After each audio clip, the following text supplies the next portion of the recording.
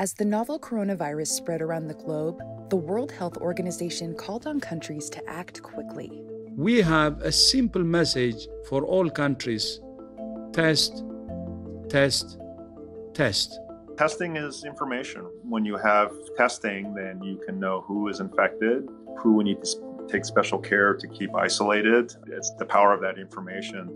There's been a range of responses depending on where you are in the world with countries racing to identify as many cases as possible to slow the spread of this pandemic. There are two important tests one that can confirm if you're currently infected, another that can tell if you're immune, and both are critical for our collective recovery. After pneumonia cases started to rise in Wuhan, researchers in China worked quickly to identify the virus, sequence it, and publish its genome. Shortly after, a team in Germany designed the world's first COVID 19 diagnostic test. This is a polymerase chain reaction test, nothing special, standard procedure in labs. The special thing about this is that there is an essential ingredient, a molecule that we provide. So we just ship this via a postal envelope to laboratories. A polymerase chain reaction test, or PCR, is a standard molecular biology technique that scientists have been using for decades.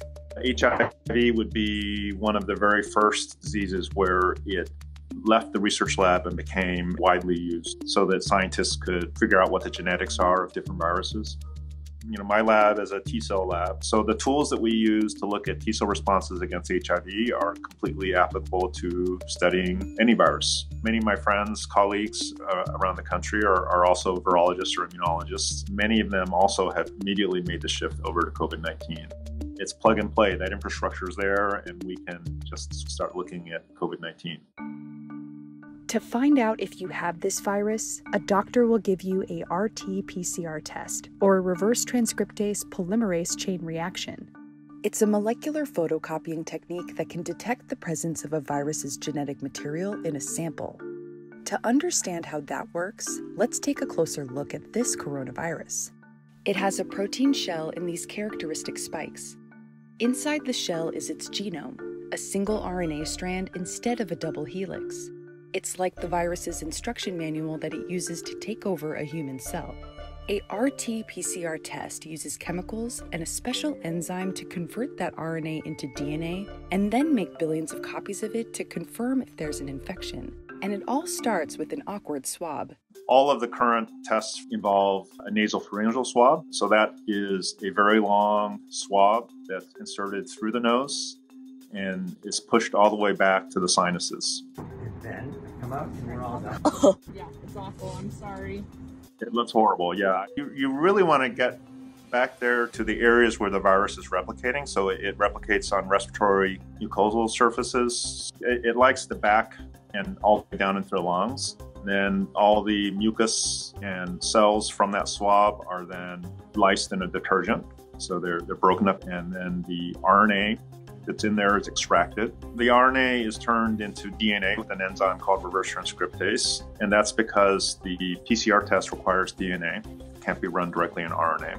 And then once we have that DNA made from what's in the swab, then PCR is done. So PCR basically is done by adding other bits of DNA that would bind to viral DNA.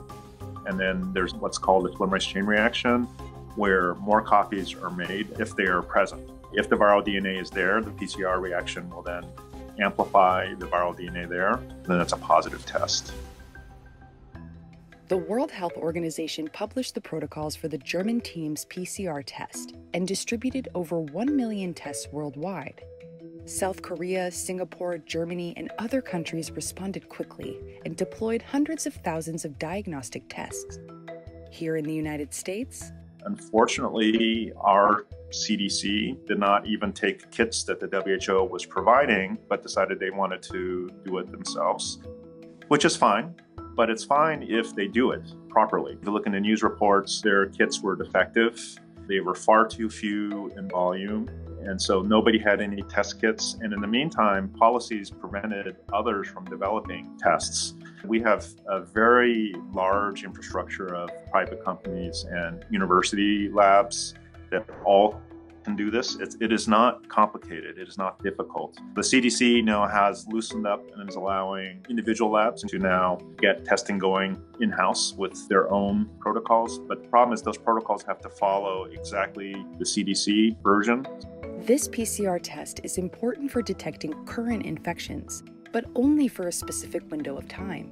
Because once you start to recover, your immune system will clear the virus out. Somebody had a mild case and they recover, we have no way of knowing whether it was COVID 19 or not. But if we have an antibody test, we can actually find those people. It's also called a serological test, and it looks for the presence of antibodies in a blood sample. This would help experts track the full scale and spread of the virus and confirm who is currently immune. Antibodies play a very important role in immunity against a lot of viruses. They can basically kill the virus by interfering with its ability to infect the cell because it's physically blocking. We harness that because we have good technologies to figure out whether somebody has antibodies. The antibody test uses a diagnostic technique called ELISA, enzyme linked immunosorbent assay. Inside the wells in this plate are tiny pieces of the virus. When a patient's blood is added, any coronavirus fighting antibodies present will bind to those pieces. Specialized enzymes and substrates are then added, which change the color of the well if bound antibodies are present.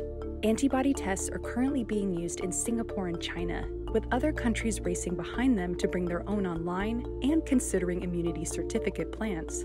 This is an important test that could find asymptomatic carriers, clarify who's safe to work on the front lines, help with future treatments, and could be a key indicator for when we can re enter society. But this test is not a quick fix. We don't know yet if testing positive for antibodies means a patient is fully immune to the virus. Researchers are moving fast here, but there's only been so much time to study COVID 19. The harder part is finding blood from people who have had coronavirus who have recovered because antibodies are made in the course of disease. And so if you're actually acutely ill, you probably won't have antibodies yet. We are looking for people that have recovered. You know, anyone out there that's interested, please contact me. All of this is in the works and it's going through much more quickly than usual because everybody does feel a sense of urgency. So people have really been kind of heroic in stepping up. And I think to those of us that have been around for a while, you know, it's a bit reminiscent of the AIDS epidemic. People are confused. There's a lot of misinformation. People are, are trying drastic things. But, but what I hope is that out of it will come really good useful treatments for vaccines, just like HIV treatments came relatively quickly and amazingly effectively.